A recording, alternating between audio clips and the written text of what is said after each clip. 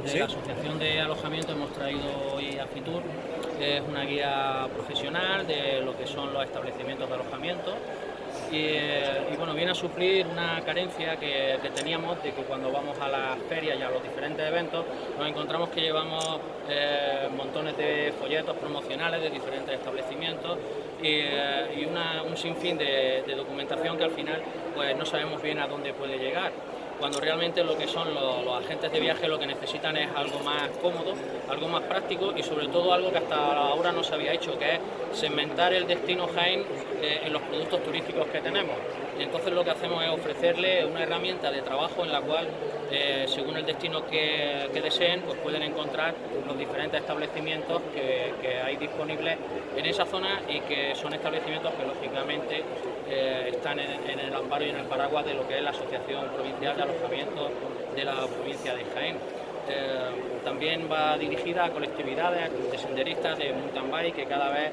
eh, el turismo activo está siendo un, ya, no, ya no va en el eje de lo que es buscar un alojamiento, sino que realmente la gente quiere experiencias, la gente quiere escapadas y, hemos visto que sin el turismo activo y si lo que se puede hacer en, en Jaén pues lógicamente es más complicado vender la provincia y poco a poco se irán incorporando, va a ser dinámica y aparte de lo que es la versión tradicional en papel, que dicen, bueno, ahora en la época que estamos en papel, ¿no? Pues sí, en papel porque realmente nos lo está demandando los profesionales. Va a haber en la página web una edición en PDF descargable y también va a ser una va a existir en la propia página web una relación de los establecimientos con los enlaces a las diferentes páginas web para que puedan reservar directamente con ellos. Con lo cual entendemos que va a ser una herramienta más de, trabajo y que va a ayudar a llegar sobre todo pensando en los pequeños establecimientos que les cuesta salir a comercializar fuera, eh, van a poder llegar a, ferias como Berlín, como Londres, eh, por las más alejadas, pero también lo más importante para nosotros, las bolsas de contratación que se realizan tanto con Turismo Andaluz como con la Junta de Andalucía y los diferentes workshops y eventos que se están haciendo tanto a nivel andaluz como a nivel nacional. Va a ser una herramienta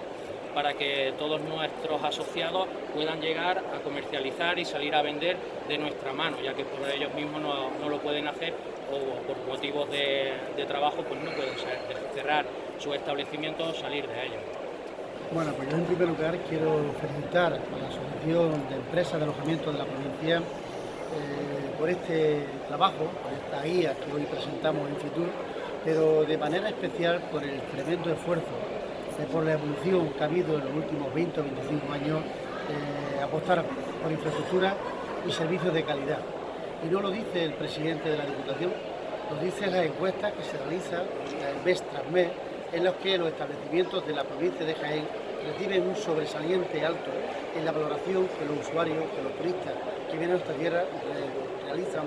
tanto de los servicios que reciben como del trato del personal de los mismos. Y eso no es fruto de la casualidad, es fruto del esfuerzo, del compromiso por la calidad que ha hecho bueno, pues, que prácticamente los 97 municipios de la provincia de Jaén eh, se han convertido en destinos turísticos. Que en los 97 municipios de la provincia de Jaén encontremos un hotel rural, una casa rural, un restaurante, infraestructura de calidad. En esa tarea ha sido fundamental, no cabe duda, las personas que hay detrás de esos establecimientos, los empresarios y las empresarias, que son la verdadera razón de ser de la tarea que hacemos desde la Diputación Provincial. Nosotros hacemos tareas de promoción, pero la Diputación Provincial no tiene camas, no tiene mesas en restaurantes. Esa tarea fundamental la realizan nuestros empresarios y creo que el avance que hemos realizado en los últimos años este año, hemos conocido hoy los datos del mes de diciembre del año 2018, estamos ya en los datos, en los mejores datos desde el año 2008, en el crecimiento desde el inicio de la crisis, acercándonos a ese millón de pernoctaciones,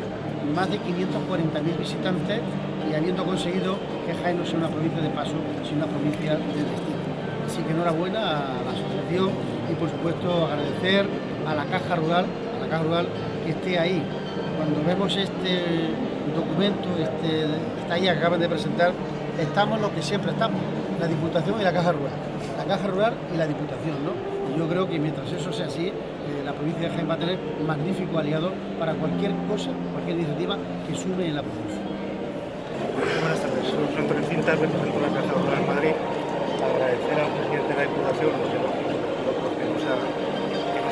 Y ahora en, una época que, por decirlo de alguna manera, la fama que tenemos es solo regular las entidades financieras, pues la caja sigue promoviendo el desarrollo y empujando por el entorno con el que nos relacionamos todos los días y que al final nos repercute a todos. Dentro de esto tenemos la fundación, que todos conocéis, la Fundación de Caja Rural, que se preocupa de gente desfavorecida, que promueve el deporte, la cultura, el ocio, el patrimonio histórico de Jaén. Y luego de manera directa, como con el convenio que tenemos firmado con la Asociación de Hosteleros, lo que intentamos es hacer más fácil la tarea diaria de nuestros clientes, que son la razón de que estemos nosotros aquí. Muchas gracias. Bueno, buenas tardes, mi nombre es Katy, soy gerente de una empresa de turismo activo y bueno, quiero decir que esta iniciativa para, es importantísima para poder desarrollarnos empresarialmente, tanto las empresas de turismo activo dentro de esta rama que nos han presentado las compañeras en este, en este proyecto nuevo en el que vamos ligados, porque hoy en día se ha sufrido un cambio. Antes buscaba el perfil del cliente, antes buscaba el alojamiento después las actividades, hoy en día busca la experiencia y después la, dónde alojarse, dónde comer y dónde ir. Son una herramienta creo que imprescindible para poder desarrollarse, desarrollarse el turismo rural. Y nada, pues agradecer la colaboración de los patrocinadores, de Caja de Paco, como siempre, que nos está apoyando en todo este proyecto tan importante y como no la Asociación de Empresarios de Hostelería.